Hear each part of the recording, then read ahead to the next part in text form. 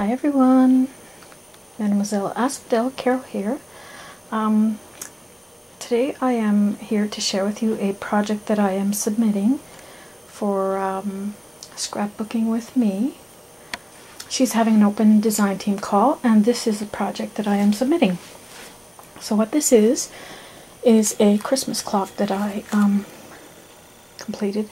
It was just um, wooden piece that was um, it was just painted white and like a mint green. So I painted, I started by giving it a coat of white paint. Then I added the Snow-Tex here. Love that stuff.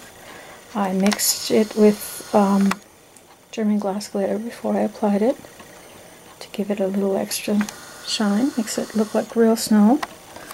Um, before I popped the clock back in, uh, the rim was gold and I used some Rub 'n Buff around it to uh, make it silver. And this is a little piece of boa trim that came off a uh, an organza bag that I had. Um, so I used that. This is a spray that I purchased at Michael's. Um, this I had in my stash for quite a while. Here's a pretty bird from Michael's as well. And she's sitting on um, some leaves that I tucked in underneath her. Um, little bead spray here, little just a little clipping of it that I added with some tulle hanging over the edge a bit and some more pearls and acrylic beads back here and over here I cut a um, pine cone um, because I didn't necessarily want the whole big cone. It was just too big in uh, proportion with the uh, bird, so I cut it. Not an easy thing to cut, I will tell you. um, so back here I have another piece of tulle and another piece of that um, pearl and acrylic spray.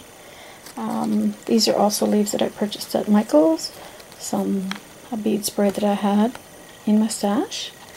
And that's pretty much it. Quite simple. On the back, um, I just used uh, note paper, and I do have to cut the circle for the clock piece um, in order to change the uh, the battery, but um, I thought it turned out pretty good. I hope you will like it. Um, let me know what you think, guys.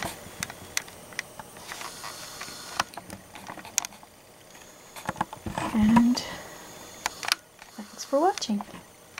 Ciao.